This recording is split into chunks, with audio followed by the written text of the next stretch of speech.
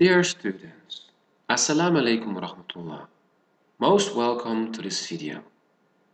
This video is about should and shouldn't. You can find this grammar skill in Book 1, Listening and Speaking, Unit 2, page 35. Okay, let's have a look to two examples. The first one is you should study for your exams. You should study. Second one, and you shouldn't cheat during your exams. You shouldn't cheat. Okay.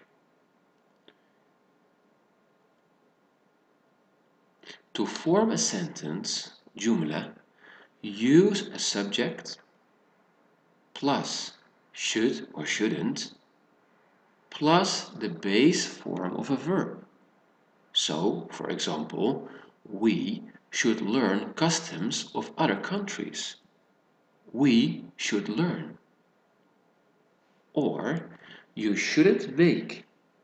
You shouldn't make too many cultural mistakes. You shouldn't make.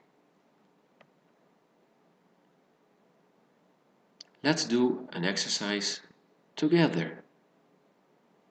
Number one, in India, you shouldn't use your left hand to eat. You shouldn't use. In Vietnam, you shouldn't touch a person on the head. You shouldn't touch. Okay, now I would like you to pause the video so that you can do question 3, 4, 5 and 6 by yourself. So please pause this video, open your book and do this exercise.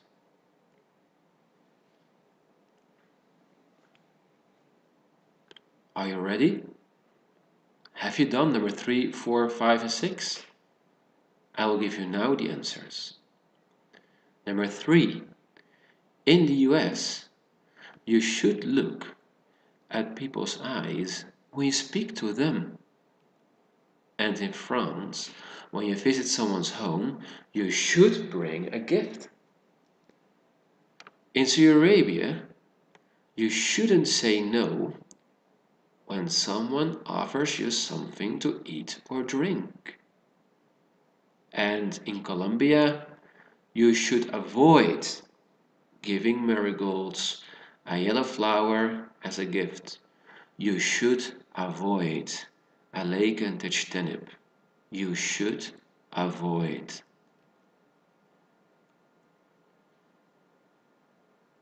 Okay.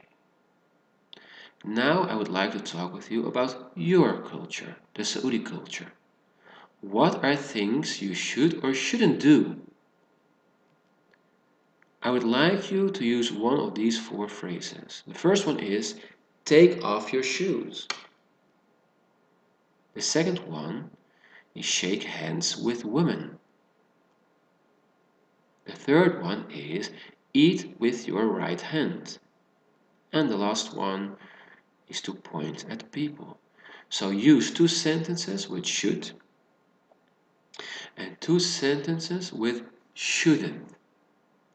So I'd like you now to pause this video and write down your answers in your book or on a piece of paper and show them later on to your teacher.